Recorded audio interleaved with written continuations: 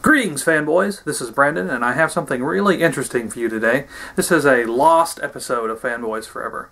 Uh, back in the summer of 2012, we shot all kinds of crazy reviews. We were shooting 10 reviews a week, and we were only editing maybe two or three, at most four reviews a week. So uh, we have a lot of footage still laying on the cutting room floor, and uh, we had thought, eh, you know, we don't necessarily have to use that, or it's something people don't need to see. Uh, long story short, we've decided it would be a shame to let all that footage go to waste. So, even though these aren't contemporary toys and it's not going to give you a look at something brand new, and in some cases these aren't even items that are on the shelf anymore, we just think it's something you get a big kick out of, and maybe if there's an older item that you're thinking about going back and picking up, this might uh, sway your opinion one way or the other. So, please enjoy this very special, never before seen lost episode of Fanboys Forever. So guys, you have chosen to view the Dark Knight Rises Stealth Vision Batman figure from Mattel's 3 and 3 quarters Dark Knight Rises movie line. And I don't know about you guys, but this is a, a variant that appealed to me the very most. Um, he's got this kind of classical color scheme that's a lot like the comic books. Mm-hmm. Got the blue and the gray, and Mattel has done this for Batman Begins and the Dark Knight Collection's 5-inch figures. They'll do a variant where they recolor the... Uh, the new suits in a more traditional color scheme. And I've always really appreciated that. And it's just a little nod to collectors, and I really like it. Mm-hmm. So, uh, Stealth Vision Batman, I'm not exactly sure what's so Stealth Vision about this figure. Yeah, he seems kind of gaudy. I don't know if he could stealth around anywhere. Um, it's worth noting that there is another figure called Stealth Vision Batman in the line, and it's called Stealth Vision twice. Once in the Bane 2 pack it comes with, and once in the Target 5 pack. Coming soon from Mattel, The Dark Knight Rises Final Assault Bane. I'm wearing green for no good reason, blah blah blah blah blah blah blah. And Stealth Strike Batman, Stealth Attack Batman, Stealth Batman. Let's fight. I don't like you and I'm evil. Uh, and I'm the good guy. See, I'm wearing blue and silver, so I'm good. They're fighting for no reason. It's Batman versus Bane. Dark Knight Rises. With the power of Dark Knight Rises action figures from Mattel, you are Batman. Uh, but yes, stealth. Yeah, yeah, the figure. Uh-huh. Uh, yeah. yeah. I guess we should review it, shouldn't uh, Let me see.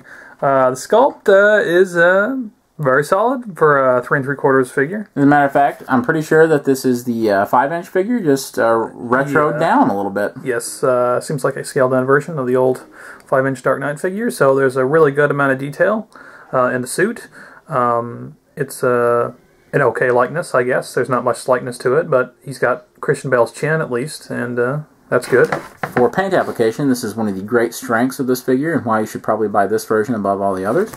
Uh, as we can see, we have some really nice paint detail for this line anyway, because uh, usually we don't get that. Uh, we have the silver here on the abs.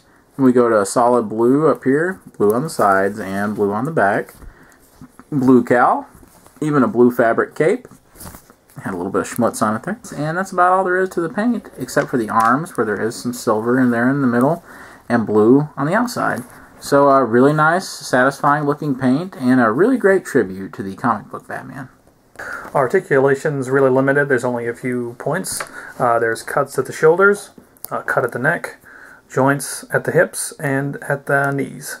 And that's all you get. So not a lot of poses you can do, but he can leap, uh, and he can punch, and he can turn his head from side to side. And that's all you really need, isn't it, folks? Right? Um, Am I right here? No, I'm wrong. That's I, terrible. I think that's awful. so, guys, let's talk about accessories.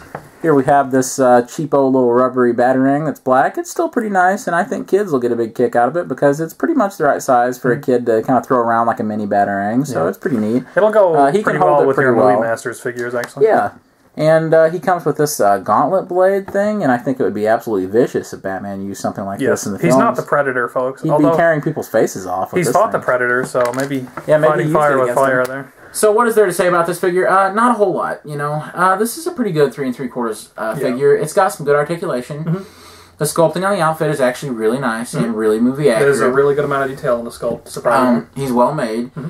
He's made out of really good plastic and good materials. The soft goods cape, it's really nice. Yeah. Um, there's not much here, folks. No. But what is here is really competent. That's good. It's a decent little figure. And the thing I'll say is this is the very best Batman Dark Knight Rises variant you can get right now in the three and three quarters line. Actually, in many ways, better than the basic Batman. Uh, so much more creative. Yeah, you know, he's got a lot of paint apps. There's so he much really more does. paint app, and there's so many more interesting things going on here. The mm accessories are more interesting. So you know, if you can, if you're going to get one Batman variant, even before I would say the basic Batman, just get this one. It's so much more fun, and It's going uh, to be the best one for kids too. I think kids are really going to love this. very appealing. Yeah, so uh, at least two and a half out of Yeah. five stars. At He's least right in the middle. he's he's just fine. He's a good little figure, and you're not going to be disappointed. So um, thank you guys.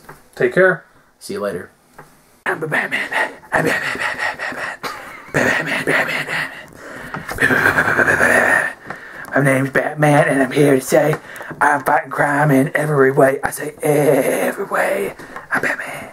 So um, I'm not really sure what the purpose of the double naming is. Uh, probably just a naming snafu that Mattel is pretty famous for. Or he is a trillionaire, so he may just have two suits called Stealth Strike. Is that Stealth Strike? Stealth Vision. man. Stealth Vision? With that, let's go into the review. Yes, sir. I want to keep that in.